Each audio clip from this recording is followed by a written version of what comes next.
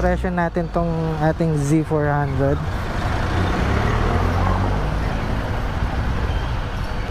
flashback muna tayo sa pagkuha nito sa Kabanatuan. So, papakita ko muna sa inyo yung biyahe namin. Kung ano oras na kami dumating doon.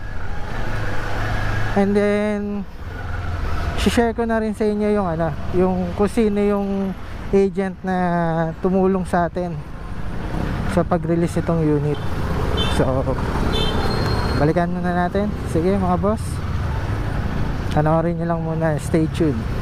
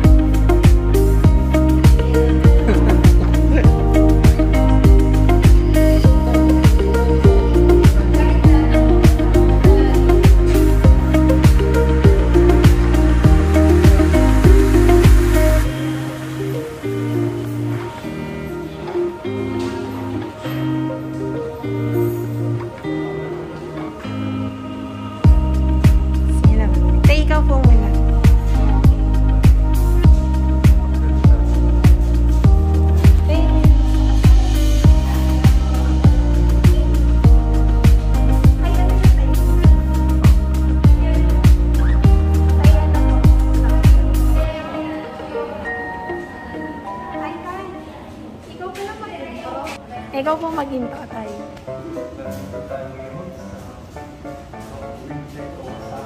Tay, pwede ka ito magtanggal ng face mask. Sabi niya tayo, hi guys!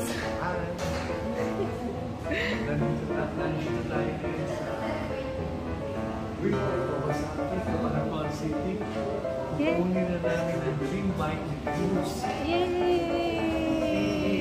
Kunin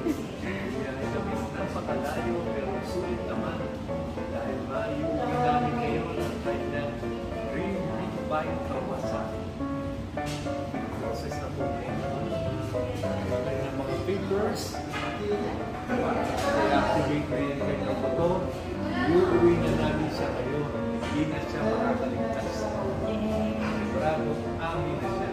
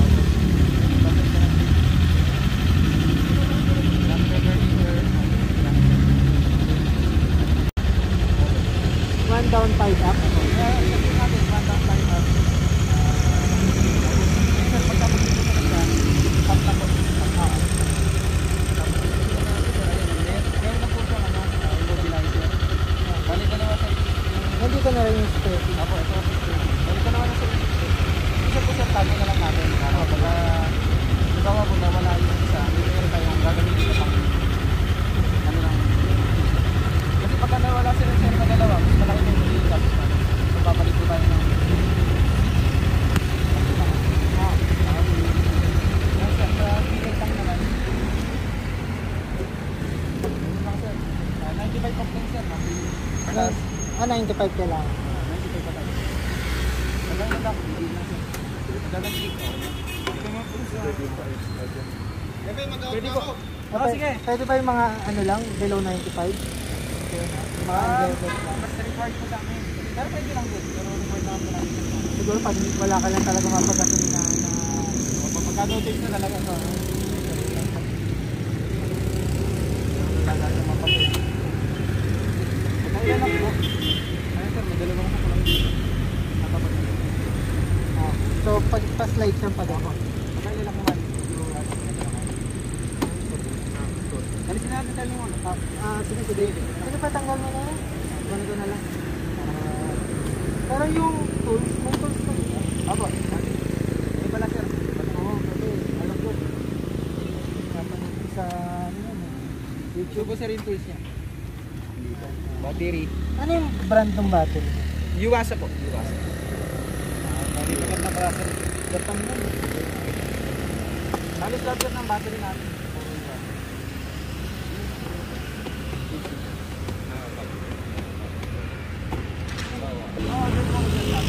Magkano? Mga nasa, hindi ko sir sir kabisado. Pero mahal na pwede. Ako, pwede. Pwede pa natin sir siyang dagdagan kahit hanggang apat na. Para sir malapit. Ay sir, test drive po. Right, yan. Sa ko yung test. Ay, sir, ano lang po siya? Halimbawa, naka-side stand, nakambyo. Ah, Namatay po siya. Naka-first gear po, rin kami start. Kailangan sa lima. Eh po, hap na po namin. Parang kami. One down, naman po, sir, first 1,000 po. Or one month. Kung sino mo mauna, basta ano po, pang. Pwede nyo lang din, sir, yung view niyo po para sa magawa natin ng record. Para hindi tayo mahirapan, sir, mag-claim. ng pero sabi, pagkasawaran. baka doon ako sa Manila magpapalito. Ayun, sir. Helmet, Bruce. Parang Ranger. One down, one down, five. Parang Ranger.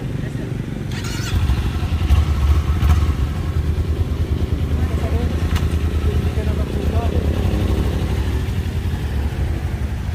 Parang Ranger lang na. One down, five up. One down, five up.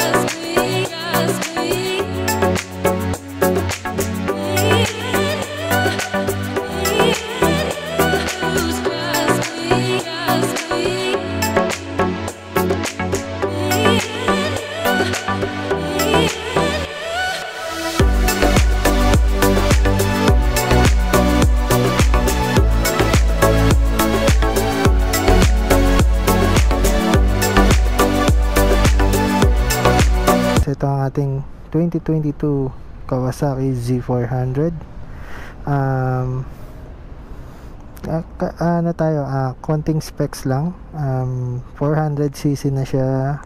Ah, expressway legal na rin. Um, kahit na ang exact um, cc niya is 399 pero sa ORCR niya daw ay 400cc na liquid cooled parallel twin fuel injected na may 53 point ah, 52.3 horsepower at 10,000 RPM ah, 38 Newton meter at 8,000 RPM 6 speed na rin siya 165 kilograms ang curb weight niya. So dual channel ABS na rin and naka digital panel gauge na rin. So tingnan natin. Yan. So na-test ko na rin siya. Pero hindi pa talaga fully test kasi wala pa tayong papel eh. Ayan. So meron na akong 171 na tinakbo dahil inuwi ko siya from Nueva so sound check natin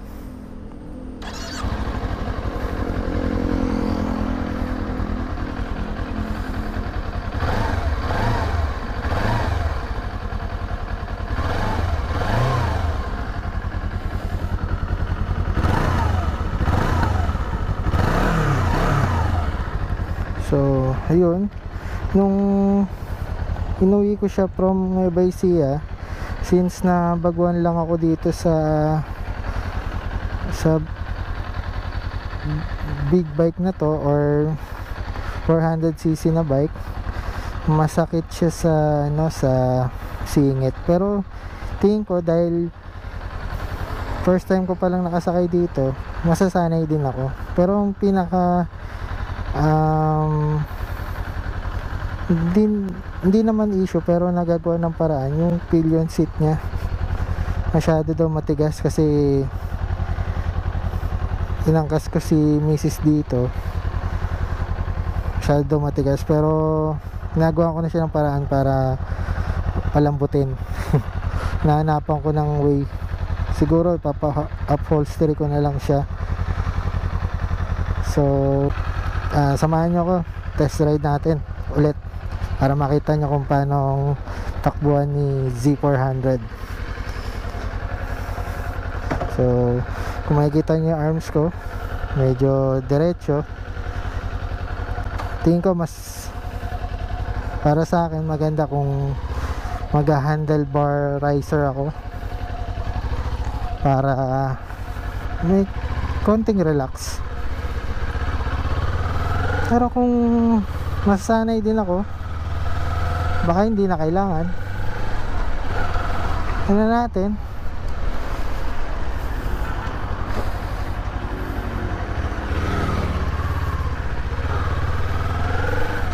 So yan since na bago pala siya ang sa manual na nabasa ko since na bago pa lang siya hanggang ano lang daw ah, 4,000 RPM so yun yung break in um, required niya na 4,000 RPM lang. So, and sa pagkakalam ko yung patigulong break in din at least siguro 100 kilometers mapatakbo mo siya para yung coating dun sa gulong is matanggal.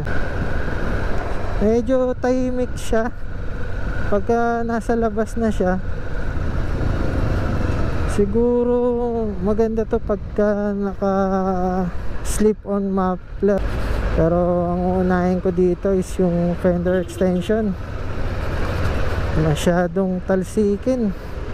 Kung kung iaano ko na lang sa inyo yung picture kung ano yung itsura nung radiator ko nung ano nung natalsikan siya ng mga putik dahil sobrang iksi nung fender niya Ayan, share ko na lang sa inyo sa screen.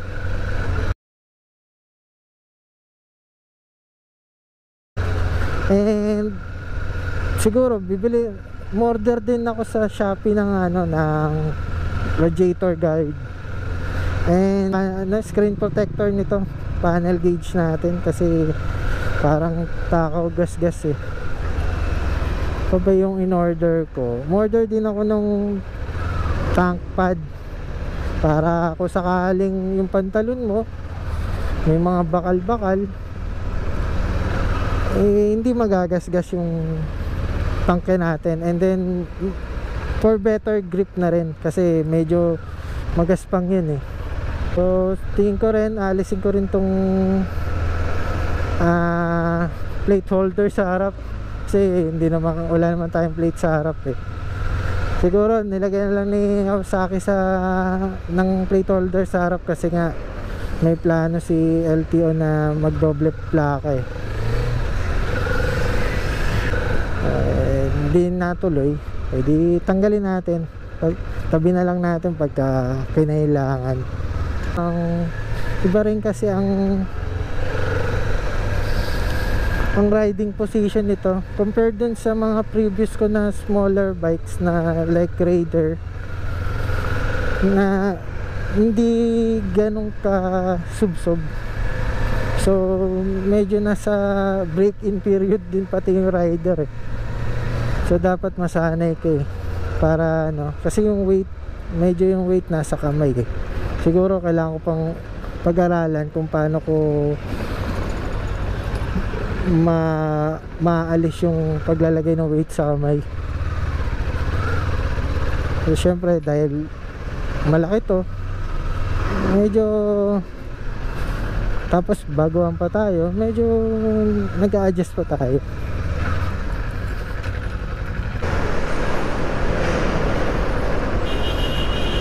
Para recommend ko tong Kawasaki Z400 sa mga gustong mag uh, 400cc na bike na makadaan sa expressway. Eh, kasi beginner's bike nga siya. Sa suspension niya okay naman. Siguro dahil bago pa medyo nasa break in din yung suspension. Kaya medyo ano siya matagtag ng konti. Pero tolerable naman so yun guys. Yun lang yung masishare ko sa inyo. Um, kung nagustuhan nyo yung video natin paki like naman paki share tapos subscribe na rin kayo tapos click nyo yung notification bell para sa mga upcoming videos natin. So ayun. Salamat sa panonood nyo bye bye